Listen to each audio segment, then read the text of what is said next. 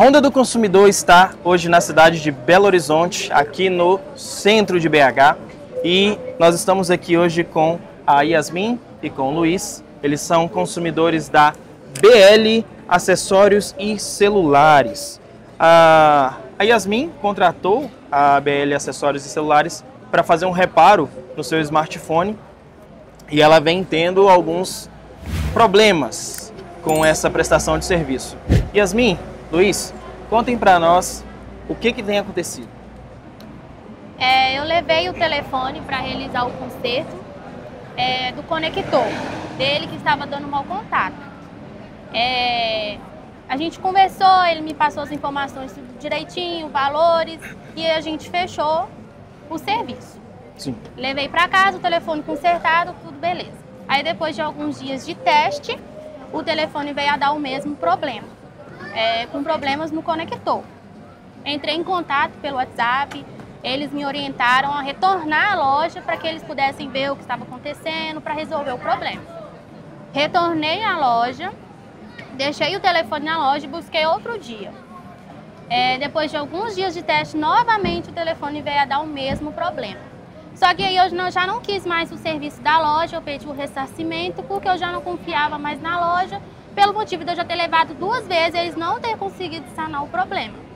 É, foi feita também a troca da tela do, do display, né, sem meu consentimento, e eu paguei o valor disso, desse, desse serviço, e eles não me informaram nada. Entendi. E eles, é, eu entrei em contato solicitando ressarcimento. De primeiro momento eles não quiseram devolver o valor e eu falei que eu ia atrás dos meus direitos. É, aí eles me, eles me proporam a devolver o dinheiro, só que retirar as peças. Porém, as minhas peças antigas já tinham sido descartadas sem meu consentimento. Ou seja, seu celular ia ter que ficar sem tela, sem, sem touch, sem, sem, sem nada. Ele ia me devolver o valor, mas sem o, o, o touch, sem, sem nada. E pra uhum. mim não vale a pena, né? Porque eu vou fazer o quê com o telefone? Não tem, Verdade. tem nexo. Entendi. E quantas vezes você precisou voltar aqui? Voltei até? duas vezes na loja. Duas vezes, né? Resolveu uma vez, deu problema de novo, resolveu de novo, deu problema de novo. Isso. Aí vocês já não aceitaram mais. Não. Tá. Então, pessoal, é, a gente vai hoje aqui nessa reportagem, né, nós vamos ser norteados pelo artigo 18 do Código do Consumidor, que dispõe o seguinte: os fornecedores de produtos de consumos duráveis ou não duráveis respondem solidariamente pelos vícios de qualidade ou quantidade que os tornem impróprios ou inadequados ao consumo, a que se destinam ou lhes diminuam o valor, assim como por aqueles decorrentes da disparidade com a indicação constante do recipiente, da embalagem, rotulagem ou mensagem publicitária, respeitadas as variações decorrentes de sua natureza, podendo o consumidor exigir a substituição das partes viciadas. E aí, aqui os parágrafos desse artigo, eles dão ao consumidor três opções para resolver o problema. O primeiro parágrafo diz assim: não sendo o vício sanado no prazo máximo de 30 dias, pode o consumidor exigir alternativamente a sua escolha. Primeiro, substituição do produto por outro produto da mesma espécie em perfeitas condições de uso. Segundo, restituição imediata da quantia paga monetariamente atualizada sem prejuízo de eventuais perdas e danos. E terceiro, o abatimento proporcional do preço. No caso dessa do problema que vocês tiveram, vocês querem o ressarcimento do valor pago, certo? Isso. OK. Então hoje nós vamos a BL celulares e acessórios, acessórios e celulares para ouvir deles o que eles têm a dizer e tentar chegar em um acordo, uma resolução aqui para os consumidores de acordo com a lei, tá? Não de acordo com o que é, eles acharem que deve ser feito ou não. É porque os consumidores não podem ficar no prejuízo e a Yasmin não pode ficar com o celular sem touch, sem tela, sem conector, sem nada. Né? Até para você consertar isso depois vai ser muito mais difícil. São seguidores da Honda, acompanham o trabalho? Sim. Com certeza, todinho. Ok, bacana, legal demais. E hoje nós temos uma presença ilustre aqui nos bastidores da Honda. Eu quero convidar aqui o Thiago para poder vir aqui falar com a gente um pouquinho. Tudo bem, Thiago? Tudo bom. Olha, Thiago, conta pra gente de onde que você está vindo. Eu venho de Belém do Pará para acompanhar aqui uma reportagem da Ronda do Consumidor. Estou aqui, espero dar sorte pro, pro casal, né, e que tudo isso. seja resolvido. Eu ia falar justamente isso. Geralmente quando os seguidores eles vêm acompanhar a reportagem, eles trazem sorte, né, para a reportagem e os casos costumam ser resolvidos. Vamos ver se o Thiago vai trazer sorte dessa vez espero também. Que sim. Esperamos que sim, né, Thiago? É isso aí. Acompanha assiduamente? Assiduamente. Acho que já tem uns dois anos que eu maratono, né, os, as reportagens não vou falar os vídeos, né? Porque são Sim. documentos e aí então já faz dois anos que a gente está acompanhando o trabalho legal, de toda a equipe. Legal, bacana. É, você tinha comentado comigo antes da reportagem sobre, acho que é, é seu sobrinho, seu irmão? Ah, é, é o meu enteado. Seu enteado, é. isso. Você quer, quer mandar um abraço para ele? Fala o nome dele, pode falar. Bernardo, um abraço para ti. Estou aqui com o Isaac, com o B Mendes, com toda a equipe e um abraço para ti que fica registrado aqui nesse vídeo. É isso aí, isso aí. Gente, então nós vamos lá, BL Acessórios e Celulares. É, espero que o Thiago traga sorte pra gente. O Ben Mendes, ele não está podendo participar dessa reportagem hoje, mas ele está aqui com a gente, está acompanhando aqui nos bastidores, tá? E a gente vai lá tentar resolver então o problema da Yasmin e do Luiz, certo? Acompanhe mais essa reportagem para a Ronda do Consumidor. Ah, lembrei, se você quiser fazer como o Thiago e participar dos bastidores de uma ronda do, da, de uma reportagem da Ronda do Consumidor, manda mensagem lá no Instagram, arroba Ronda do Consumidor, que eu mesmo vou estar te respondendo e a gente vai estar marcando para você poder participar. Acompanhe mais essa reportagem para a Ronda do Consumidor.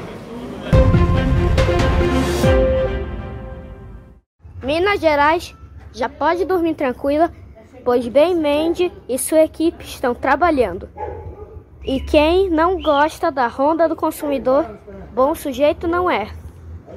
Nós estamos hoje, gente, repetindo aqui para vocês, em Belo Horizonte, centro de Belo Horizonte, capital mineira. Vamos colocar algumas imagens aéreas aí para vocês conferirem. Estamos chegando aqui a BL Acessórios e Celulares. Vamos ver quem pode conversar com a gente. Boa tarde, tudo bem? Eu sou Isaac, repórter da Honda do Consumidor. Tudo jóia? Esse é o Luiz, aquela é a Yasmin, consumidores aqui de vocês. Você é o? Derek. Derek, tudo bem? Derek, você conhece os consumidores? Não? Ok. Vou te explicar o que, que tem acontecido, Derek.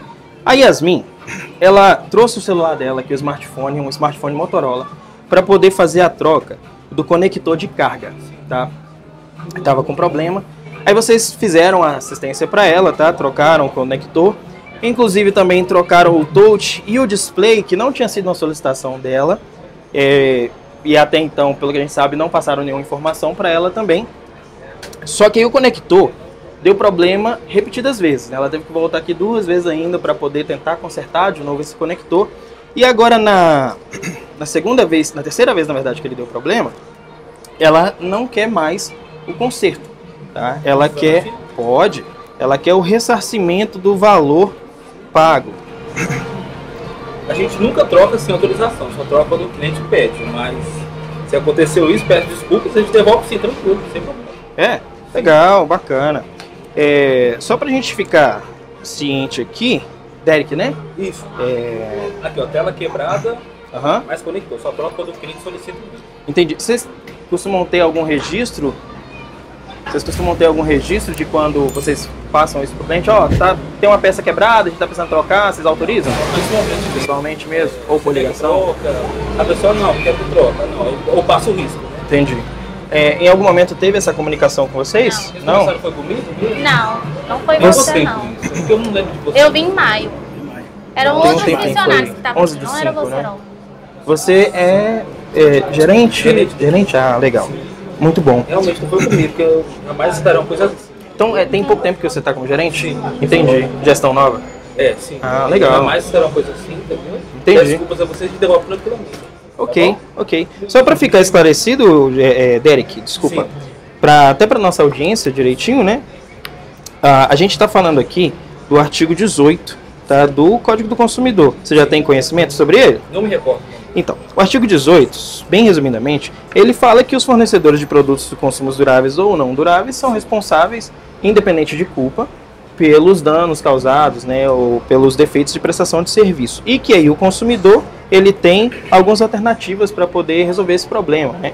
Quando não é resolvido dentro de 30 dias, que foi o, é o prazo de, de assistência, né, que pede, Aí ele tem a opção, né? A primeira opção que é a substituição do produto por outro da mesma espécie em perfeitas condições de uso, ou a restituição imediata da quantia paga, monetariamente atualizada, sem prejuízo de eventuais perdas ou danos, ou o abatimento proporcional do preço.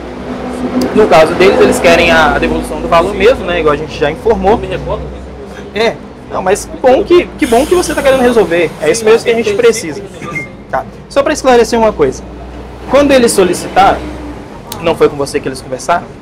Foi passado para eles que poderia ser feita a devolução sim, mas que teria que retirar as peças que estão no aparelho deles. Nova, né? É, é, só que aí que é a grande questão. Que como o celular dela né, foi trocado, esse touch e o display, né, sem o consentimento, né, sem a- a- o pedido para ela, ela tá aceitando, né? Pessoa assim. Quando você, quando você assinou esse, esse, esse recibo aqui, queimada. eles já tinham te passado ou foi só quando você veio pegar? Só quando eu vim pegar, eles fizeram a nota e foi bem no final do dia que eu tive um problema. Então ela deixou o aparelho, quando ela veio buscar é que ela assinou o recibo. Entendeu? E aí já tinha feito a troca. né? Inclusive teve um outro aparelho que eles trouxeram que deu problema também, mas que conseguiram resolver. Eu tenho a nota É. também. É, ela tem a nota. Aí o outro aparelho não teve problema. Esse aqui continuou com problema, então hoje ela precisa desse ressarcimento. Veja mais, a gente estar aqui há mais de 8 anos aqui. Oito anos. E nunca vi uma coisa assim. Entendi. Iniciei outras lojas, agora estou pouco, pouco tempo aqui. Esse aqui é uma franquia? Tem outras lojas da mesma? Ah, entendi. Entendi. Padrão de trabalho. A gente nunca faz sem autorização. Entendi. O Então, problema é só provavelmente que foi eles um. falaram que, que devolveria o valor pago só se eles retirassem a peça que eles colocaram, entendeu? Então, aí entra a questão do artigo 14 do Código do Consumidor, que vai dizer o seguinte: no caso dela, ela até fala assim: não, beleza, vocês podem tirar os produtos, as, as peças, mas aí vocês me devolvem as minhas antigas. E aí foi passado para ela que essas peças foram descartadas, provavelmente porque não estavam funcionando, né? Pode tentar achar. É, aí- só que aí o que que A mesma acontece? A mesma, A mesma não tem, provavelmente foi descartada, né? Ela quebra tirar. Isso, então, mas aí, vamos lá. O artigo 14 ele vai dizer o seguinte: fornecedor de serviço responde independente da existência de culpa pela reparação dos danos causados aos consumidores por defeitos relativos à prestação de serviço, bem como por informações insuficientes ou inadequadas sobre a fruição de e riscos. Ou seja, essa devolução ela tem que ser feita, mas os consumidores eles não podem ser condicionados à retirada dos produtos, por quê? Ela não pode ficar com o celular, sem tela, sem touch, sem... Sem problema, não vejo problema nenhum. É? Então beleza, e como é que... Resolver 190 né? Dinheiro. 190? Vocês preferem dinheiro? Como que fica melhor pra vocês, Derek? Eu não tenho esse dinheiro aqui no momento. Pode ser no Pix? Pode. Pode ser? Você passa o- Pix pra ele, por favor? Pode ser uma parte do dinheiro que no Pix, tem problema? Não entendi? Uma parte Uma parte do dinheiro dinheiro, outra no Pix?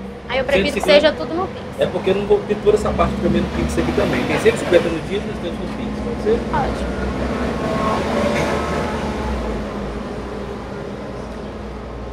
Bom, vocês que estão acompanhando a reportagem aí, né, o Derek ele explicou que eles não tinham conhecimento, né, do problema, ele não tinha conhecimento do problema, mas que vão fazer o ressarcimento, né, do valor, já estão fazendo inclusive. É? CPF. Pode falar. Seu nome, tá? Realmente, nunca vi uma coisa assim. Troca que o cliente pede mesmo. Acontece, né? Uma hora ou outra acaba acontecendo algum imprevisto. Já trabalhei em comércio também, eu sei que uma hora acontece alguma como coisa. consumidor tem dado de vocês. Né? Com certeza, com certeza. Mas que bom que você está disposto a resolver então, Derek. É isso que a gente precisa, né? Que fornecedores estejam dispostos a resolver o problema do cliente, né? Para não ficar gerando atrito nem para a loja e nem para o cliente. E com certeza a audiência que vai assistir a reportagem, ela vai ver que vocês tiveram uma atitude boa, né? que- De resolver o problema quando chegou até você. Exatamente. No mês 5, né? Que você falou. Isso. 11 do 5, né? Se eu não me engano, eu conversei, foi com o Bruno ou Júlio, não sei. Bruno, Isso. Foi com ele que eu conversei. É algum funcionário, dono, outro gerente? é o dono de todas as lojas. Dono das lojas, entendi. Vocês devem estar ouvindo eu fazer alguns pigarros. Eu peguei uma gripezinha essa semana, então a garganta tá um pouquinho ruim. Vocês já vão me desculpando aí, tá, gente? Pelos pigarros, tá bom?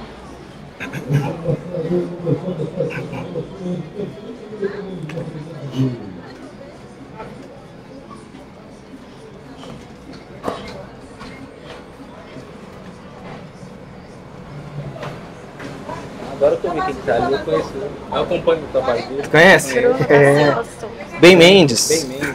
Então você acompanha Certinho. lá. Acompanho. Legal, bacana. Certinho? Certinho. Derek, desculpa pra Obrigada. vocês. Se eu tivesse que jamais acontecer, acontecer isso ia acontecer, mas, né, aconteceu infelizmente. muito obrigado, tá? Pela sua solicitude. Quer dizer mais alguma coisa para a audiência? Tranquilo, né? precisar a gente pode vir, a gente tá aqui disposto a atender e resolver qualquer problema. Ok. Muito obrigado, Derek. De nada. Tchau, tchau. Obrigada, Bom trabalho para vocês. Vocês. Vamos lá, gente. Encerrar lá fora. É isso aí que a gente precisa, pessoal. Gerentes, funcionários, é, que estejam fornecedores que estejam dispostos a resolver o problema do, do, do consumidor. Vamos ficar aqui? Então é isso que a gente precisa, tá? Fornecedores, funcionários, gerentes que estejam aptos para resolver o problema do consumidor sem causar problemas, sem causar tumulto. O consumidor solicitou, confira se está de acordo com o Código de Defesa do Consumidor. Estando de acordo, realize o direito do consumidor, que você vai ter muito mais sucesso em seus negócios, certo? Felizes? Sim. Resolvido o problema então? Resolvidos. Ok, que bacana. Eu vou convidar mais uma vez aqui o Thiago. Thiago tá vindo lá de Belém do Pará, né, para poder conhecer o bem e acompanhar aqui uma reportagem com a gente. Deu uma passeada aqui por BH? Dei, dei uma passeada. Gostou? Gostei. Legal. Gostei. Comida boa, pão de queijo uma delícia. É, já experimentou o pãozinho de queijo, cafezinho? Tá Legal, muito bacana. É, Então é isso, gente. Mais uma reportagem bem sucedida para a Ronda do Consumidor. E Minas Gerais pode dormir tranquilamente, porque enquanto a Ronda do Consumidor estiver trabalhando, o direito dos consumidores vai ser preservado, ok? De Belo Horizonte, Minas Gerais, Isaac Lacerda para a Ronda do Consumidor.